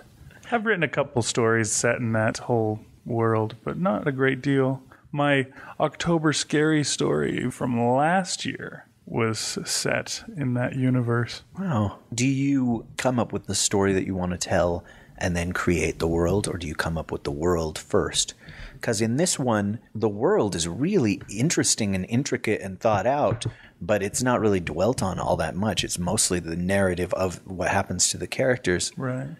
And it makes me wonder well, maybe he came up with this idea and he's like, well, okay, what kind of story can I come up with set in this world? Or maybe that there's more than one story in the Plague Birds universe. I don't know. Maybe originally this was a uh, period story, you know, set in, in the Uh-huh. Dark Ages, and he realized that instead of magic, it needed to be technology. And for it to be technology, it had to be in the future. And I don't know. That's a good question, but I think that there's never necessarily a perfect answer for that. You know, it doesn't always go one way or another. For example, the one that I was just talking about, I t- still have very few stories set in that universe. For as detailed as I've come up with the universe in my mind, I haven't come up with a good story to tell in the universe, unfortunately. So, in that case, the universe was created, and then you have to come up with a story to go in it. And I think other times you come up with a story, and then you think, okay, for this story to work, what does it need to be? There's lots of different ways to uh, go about it, and I think that's the way it is for any story. You know, you, you come up with something, whatever the germ may be for your story, then you have to build the rest of it around it. And sometimes the germ is the setting, sometimes the germ is the character, sometimes the germ is the plot, but eventually the germ will cause a super flu that kills everyone off and causes an apocalypse. That's all that matters. What the crap? I hear you. Uh, another thing that I believe we mentioned the last time we got one of Jason's stories is that uh, it's so different than the other stories that he'd sent us. Uh, you know, as far as genre goes, as far as just the feel of the story. You know, he had that down home maps of the Bible story, Uh-huh. you know, the American South. And Right. He had Free Langa or Lanja or Lajunga, uh, sci fi, futuristic, I mean, multiple world colonization story. And then he had whatever the hell the first story was that he sent. Thorns as tips of trees, are you talking uh, oh, that's booksellers of the Galactic Rim? Ooh, I'd forgotten about Booksellers of the Galactic Rim. I was thinking of Thorns of the Tips of Trees, but we didn't do that here on the show. No, we didn't. It was actually Uh, you know, if you're a new listener and you really like Jason's stuff, do yourself a favor and go to Starship Sofa and just do a search on Jason Sanford or uh, the, the story When Thorns Are the Tips of Trees. Geez, one of the best stories I've ever had the honor of reading. hmm We were able to read that for uh, Starship Sofa, and that's it's gosh, it's been More than two years. yeah a long time since uh, we did that, and uh, that was a, a good experience, and it established our relationship with uh, Jason Sanford. And Jason Sanford uh, sends us a story along each time. He sent us a story along this time.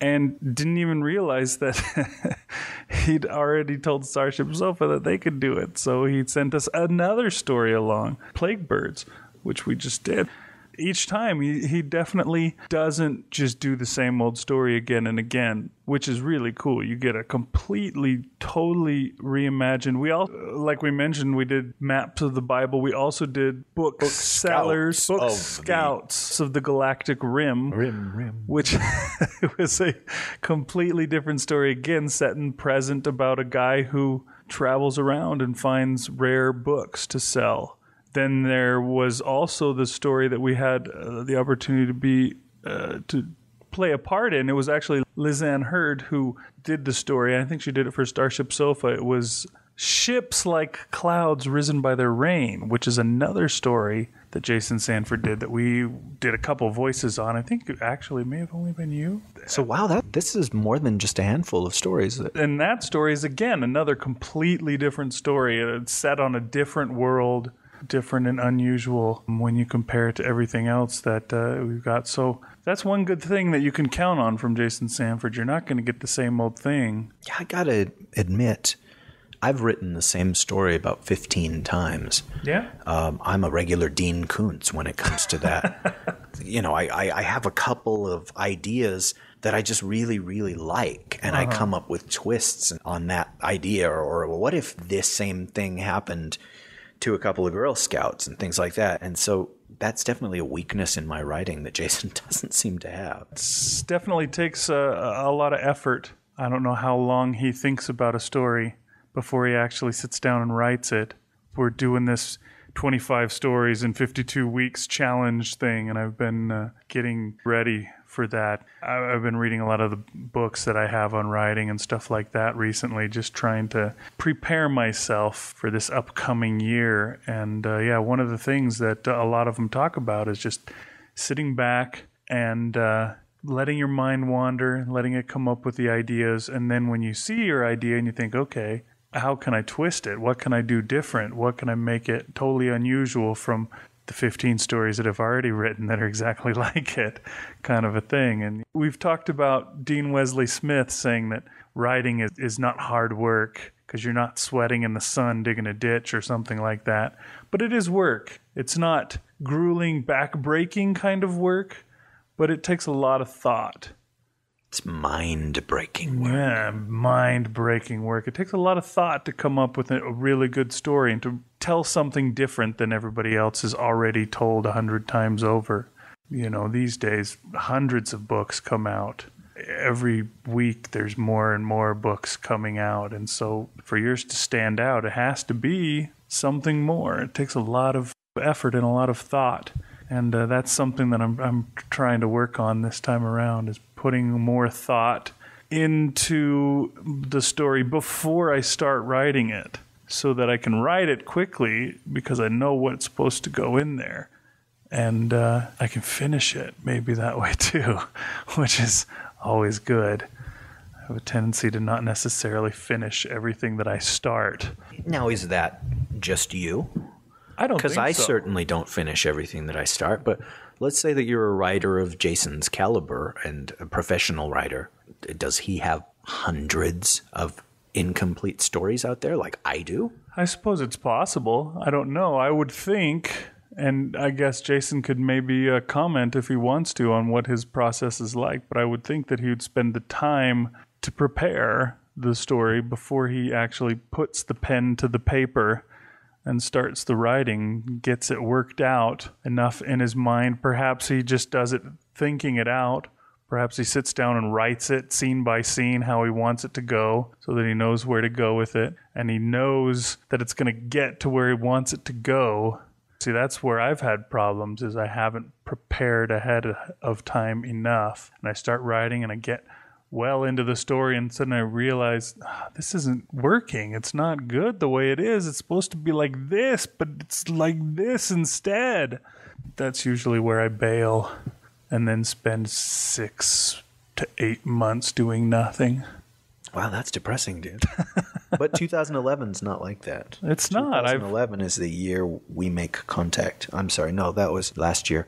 The 2011 is the year that you break free of them chains that bind you and yeah, write uh, 25 stories and uh, or more. Or we'll see how more. it goes. You know, something that I mentioned to you before the vomiting was, oh, you know, one of those stories needs to be you and me doing a collaboration. The thing that we've talked about for years.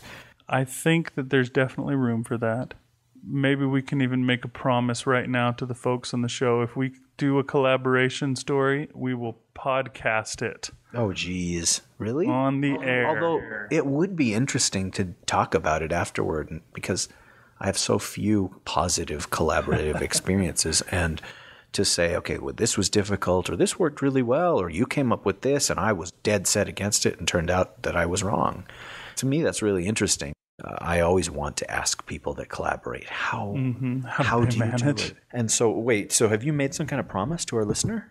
Well, I said that we'd podcast the story if we write it, which doesn't mean a whole lot. When it comes down to it, that was always our plan anyway, so I didn't promise anything unexpected. Well, you and I had an idea for a story, and it was basically one year I came here from LA to visit you on like Christmas Eve Eve, or, or maybe it was Christmas Eve, I don't know. And I drove out to your house. It was the first time I'd ever seen your house, and there was this giant snowstorm. Yeah.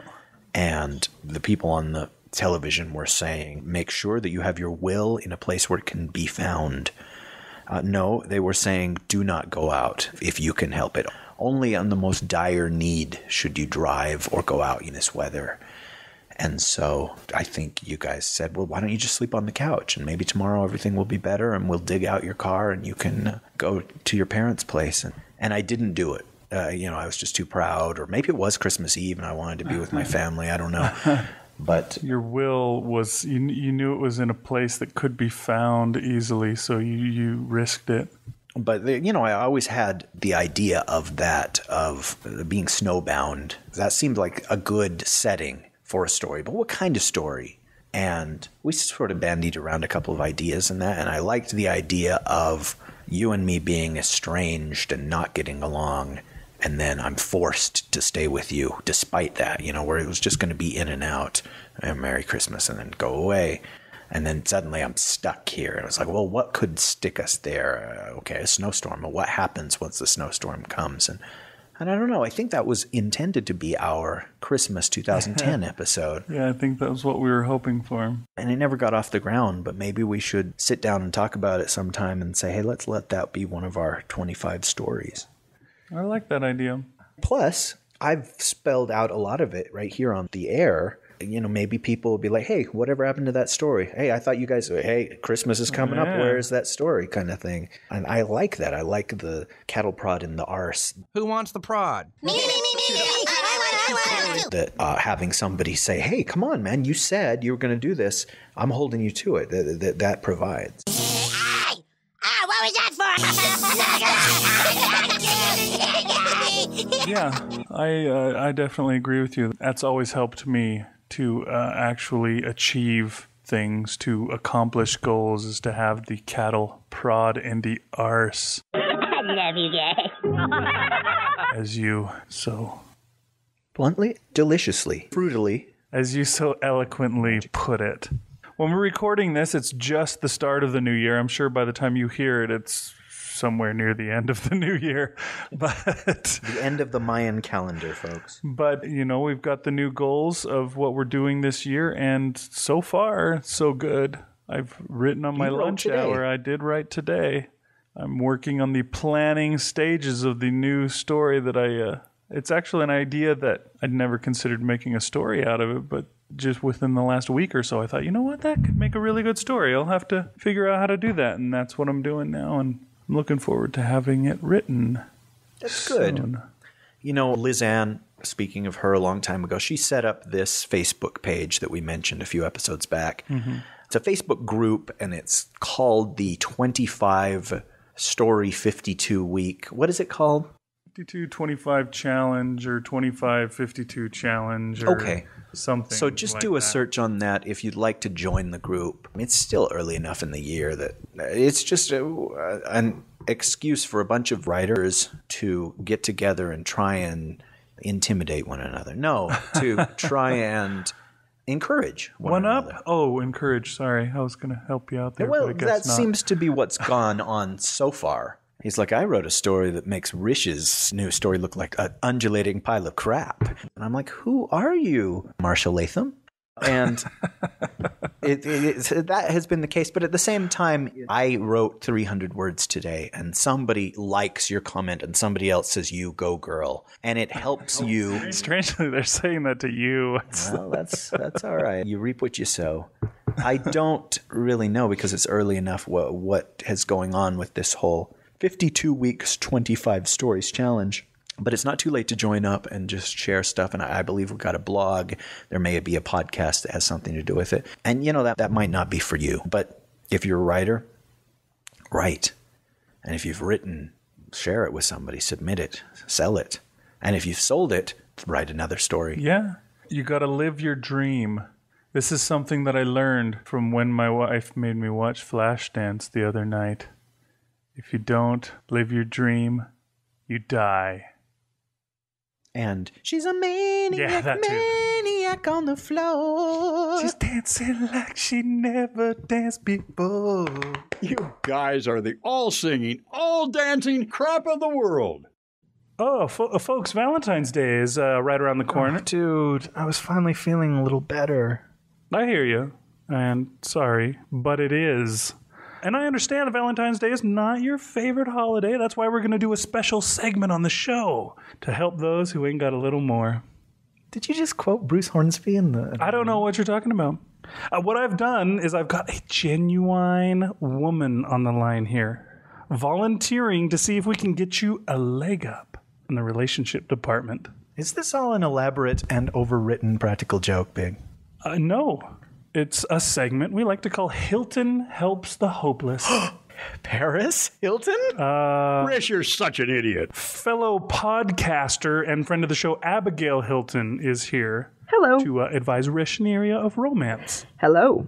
Thanks for being on the show. No problem. My awkward conversations quota for the year has not yet been met. Luckily, we uh, caught you early, huh? You have no idea. That's usually uh, Rish's line. Whoa, whoa, whoa. I- I'm feeling out of the loop. What's going on with this? I'm here to give you a little practice with the opposite sex. In a safe environment, a role playing kind of thing. Uh, do you mind being the elf? You know, I, I have a thing for elf maidens. I, Uh, we all do, Rish. Uh, but this is to help you out in the real world. Who knows? Maybe our listeners will get something out of it too. All right. You ready? Ready? Me too. I guess. So, Rish, uh, you meet Abby at, say, the grocery store. Approach her. Uh, hello, Abby. How's it going? Do I know you? Apparently. Do you, um, want to go out sometime? Whoa, whoa, that's way too quick. I've heard that a lot. No. I mean, you're being too direct, especially if we just ran into each other. It gives off a creepy stalker vibe. I hear that a lot too. Okay, uh, so so how's your job treating you? Nobody died today. It was awesome. Well, uh, I know what you're tempted to say here, Rish. Don't do it. okay, sorry. So uh, you're a doctor, right? That's my favorite game. No, no, that's still too forward. Come on, you've got to be patient and relaxed. You're starting to come across as desperate. You have no idea. There you go. Told you. Desperation is really unattractive. This is like an interview. She's evaluating you, but you're also evaluating her. She's not an alien species, Rish. She's just a person. Relax. It's hard to be relaxed when there's the possibility of sex in the air. Believe me, Rish, there isn't. That's all right. I'm ambidextrous. Big, this isn't working. Keep trying, Abby. We don't call this helping the hopeless for nothing. I'm sorry. I use humor as a way to charm women. And how has that worked for you so far? Not well. G- give Rish some advice. Tell him how to break the ice. If you know this hypothetical girl, talk about a common interest. If she's a stranger, give her a compliment. Something not directly sexual. Uh, all right. Or indirectly, come to think of it. Um, okay. Let the girl know you're happy to see her. Like it made your day to run into her.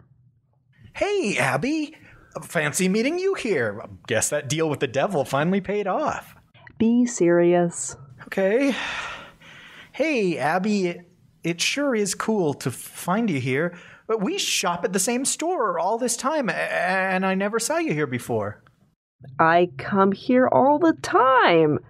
Tuesday nights, mostly. Well, they have the, the best microwave burritos. And sometimes they're on sale, so I buy more. Why don't you compliment her, Rish? You you have fine taste in grocery stores, Abby. Damn fine taste. I think he means compliment my clothes or appearance. Oh, sure. I, I like your clothes, and your appearance is nice. Nice? Just nice? Your appearance is stunning, impressive, really nice. Are you a robot? Try to do it more naturally. Okay, uh, okay, I've got it. Gee, Abby, your hair really looks great today. Thanks, Rish. New dandruff shampoo? Oh, good God. I mean, you wouldn't need it. Uh, Your hair's fine. You know, I wish mine was as flake free as yours is. Mm, big, I've got to go. My dog needs to be taken for his walk. No, It's wait. just we can do this. the- Sorry. Bye. Okay, well, that was uh, Hilton Helps the Hopeless for today. Uh, do you think her hanging up on me uh, is indicative of how I was doing? She, yeah, she uh, ran out of time. She had to take her dog to the walk. Wait a minute. She's a cat person. So pathetic it'd be funny if it wasn't so sad. Uh, I guess this has been a very rambling conversation. Oh, they all are. Yeah, what else is new? But it's late. I'm ill. Thank you, Jason, for sending us yet another story. They've all been good. Yeah. And I guess I can't say that about my own stories, but I, you know, I. But they're all the same, at least your stories. all the same. Dean Koontz has Watchers, and he has Twilight Eyes, and those aren't the same book. Anyhow, thank you also to Bryan Lincoln. He's got a podcast of his own that is also for people who are doing full cast audio, and he has shared his experiences in editing stories for us and producing stories for us on that podcast. And it's well worth a listen. He often has guests. Uh, but more important than all of that shit is that he's a good guy. And, you know, we need more of those too. Yeah, that's good. Uh, I'm awfully sick. I'm sorry. You're not going to make it any further. Okay. To avoid the puke spatters on my kitchen floor, we'll go ahead and wrap it up here. Thanks for listening, everybody. I'm Big Anklevich. Yeah, and I'm Rish Outfield. Good night. See ya. The Dunesteef Audio Fiction Magazine is published under a Creative Commons Attribution, Non Commercial, No Derivatives license. This means that you may share these files with anyone, but you may not charge for them or alter them. If you're ever in a generous mood, we'd love it if you donated. Good night, folks. Take two. It was actually Liz, Liz Ann Hurd, who did the story. I think she did it for Starship Sofa. It was Here We. No, that's the other one. Here we are, born to be kings. We're the prince. No, now your, your line is, now I'm going to be sick. Princes of the universe. Okay, now I'm going to be sick. There, I said my line. Are you guys singing again? Krista pulled a carrot from her pocket and fed it to Eggbird. Eggbird, the plague bird. Last year, at her 18th birthday party, the village's artificial intelligence had manipulated Krista's senses in a game of hide the kiss. Hide the salami. That came out like crap, didn't it? Duty. Duty. I like duty. Oh, there's our static. What was W's duty? Duty can be a hard thing. uh, I like duty. Duty. Du- duty. Do her duty. She wanted the plague bird to leave. I lost my place. Vaginosis. What the? She wanted. Where in the hell are we? Keep going. Right, there you go. An interest we can do. It doesn't sound like I'm saying anything sense. Not sense. It's hard to make a difference between those two words. And just say skins. People will understand. Perfect. Dorina said. I like that in a man. I'll be visiting him later when you look to the window next door. And it's a rockin', don't come a knockin'. Uh. Leave my sight! Sorry. I'll stop burping, Master Farnham. Whoa, I jumped down a lot. Oh, that's the line. Oh, you're right. No, you didn't. Angry animos. Anima? Animal. We can, and I want. And I need. And I love. Animal. Animal. Come on, Steve.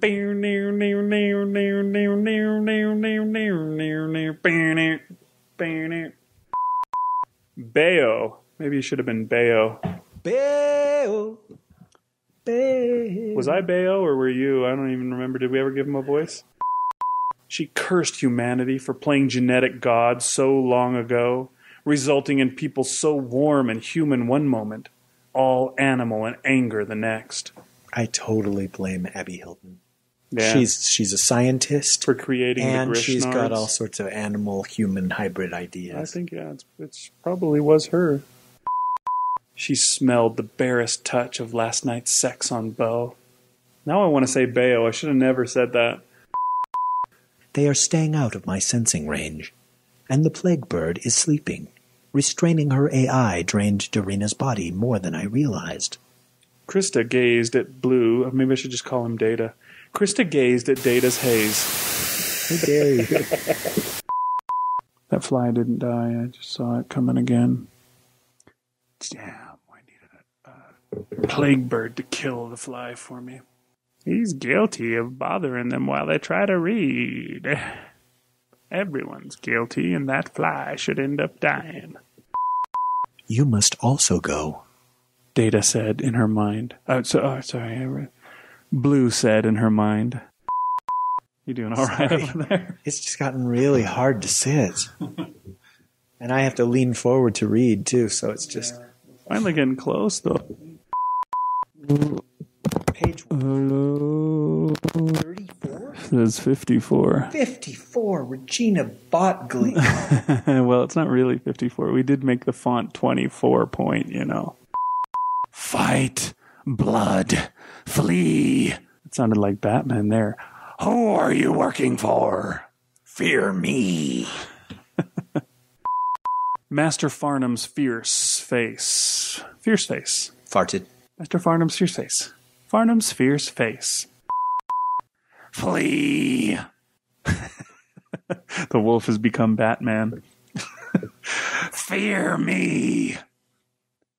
Swear to me. That's what it was, yeah.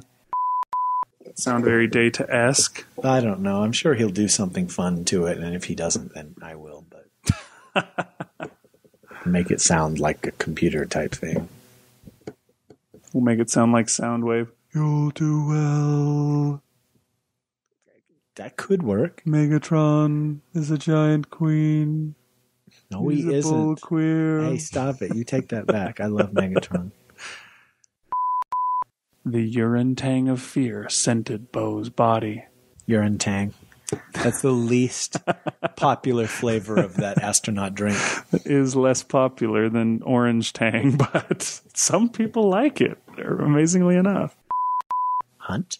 I'm not sure what that means, but Hunter? until she didn't care which part of her was human or wolf or hunt at all, or hunter at all, or Huntington at all, or Bunt. Hunt's ketchup at all. Catsup. End. Ooh, wow. 2:53 a.m. Oh, bye. Ew, bye. You are a douchebag. Now that's ridiculous. Believe it or not, this is George Sulut Gay signing off. Don't be silly, Adrian Peterson. All right, we are rolling. I liked your link, by the way, to the Adrian Peterson getting the woman fired for letting her pee in the toilet. That was pretty funny. I wonder, I mean, like, if there's anybody that's safe to let in, it's somebody that everybody in the world knows who is. Because you can't just come in and do something awful. The second, you know, they see you through the glass, they already know your name. Well, you're a fan of Adrian Peterson, right? Yeah. So is he the kind of guy who, when he heard that this woman got fired, would have said something at like a press conference or something? It's like, hey, I want to thank this woman who helped me, and she lost her job over that, and I, that was not cool, and all that stuff. Or, or is he a guy who's just I would think that anyone would do. I mean, I, I guess there are some complete douchebags that wouldn't, but I think pretty much everybody that's not a complete, and I don't think he's a complete douchebag. It's not like I, you know, you don't really know somebody. I mean, I see him run, score touchdowns and stuff, but unless they do something really awful, okay? Well, but you don't really hear about what they're like. He seems like he's a nice guy. Kobe Bryant, Uh-huh. a fantastic athlete, wouldn't you say? Yeah. Douchebag? From what I've heard. Okay. Well, I see. I, so I, I- I think you can just tell on some people. I think Kobe Bryant has learned to become a little bit less of a douchebag. I think when he got brought up on those rape charges a few years ago, that kind of, uh, I mean, he got off. Uh, he beat the charges. Uh, not only beat ladies. Uh, anyways, yeah, he he didn't get convicted. He was not convicted, but uh, I think that scare helped him to uh, become a little bit less of a douchebag. Okay. Learned a thing or two. I think he had to shell out way too much money to keep his wife buying her diamond Well, rings. she was a handsome woman, but She uh, yeah.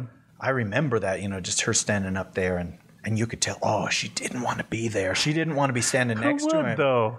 I always feel so bad for anybody like that, where there's some douchebag, like some governor of South Carolina or whoever is up there giving their press conference talking about how they cheated on their wife, and their wife is standing right there next to him, like, oh, yes, I support you all the way. And you know they don't. There was this sketch on uh, Little Britain that they did a couple of times where like some member of parliament would stand up there with his wife and his, his ha- he'd have his two children in front of him and he's doing a press conference and he's like there have been some disturbing allegations which I wish to address right now.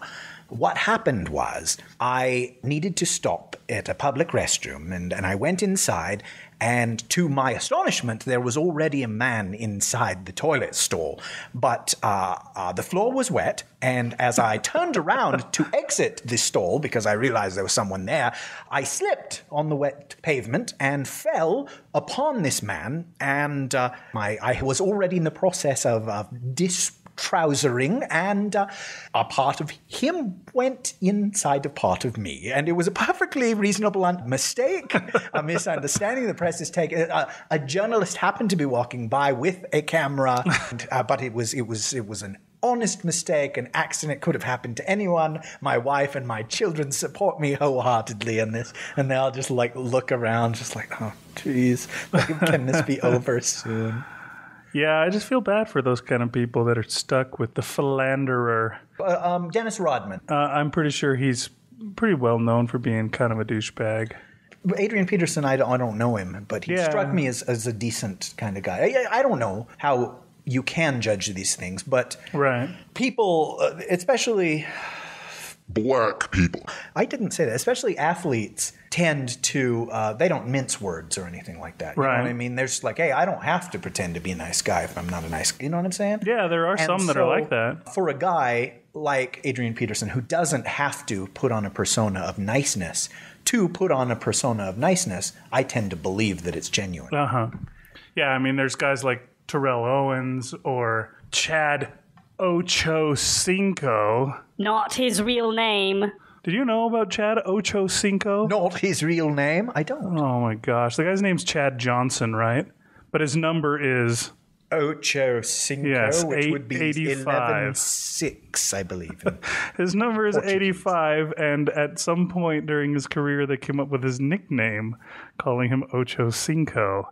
And he apparently liked this nickname enough that he wanted the NFL to put it on the back of his jersey. And the NFL said, You get your last name on the back of your jersey. Everybody gets their last name. That's just what you get. And so he says, Fine then. And he went down to the frickin' changed his courthouse, name? changed his name to Chad Ocho Cinco. And then the team traded him, and he got a totally new number. And boy, was his team face red. traded him, and 85 was taken. Unfortunately, he didn't get it come up like he should have. But oh my gosh, that is the worst, most ridiculous thing in the world. But you know, he's got Ocho Cinco on the back of his jersey now. He won. He got what he wanted.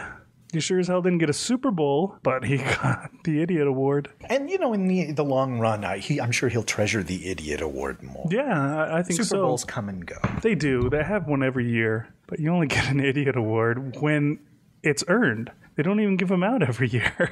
so yeah, there are a lot of douchebags out there. Among, I mean, we were talking just today about Sean Penn. Yeah, I think regardless of how talented an actor he is, uh, people recognize that the guy is something of an arse. He just comes off like that, you know. We we, we were just mentioning Ricky Gervais's uh, caustic humor from the Golden Globes and uh, how most people managed to take it with some dignity, a, gr- a grain of salt. They managed to get up there and, And chuckle along. along with him instead of being a douche and getting all upset and offended and like, "How dare you? I am Sean Penn." I think it was uh, Robert Downey Jr. we were talking about who you know, the worst parts of his life were brought up in his introduction, and he managed to get up there and just give a little back instead. And uh, then there was a few years ago when Chris Rock was hosting the uh, Oscars, and he says, Who the hell is Jude Law? And why is he in every single movie there is? And, uh, And then when Sean Penn won, he went up and during his speech, instead Yeah. of thanking people, he said, "I'll have you know that Jude Law is a very talented actor, yeah, he's one of the most talented actors of our generation. and he's hung like a." Just like, dude, seriously, get over yourself. Why are you gonna be such a douche?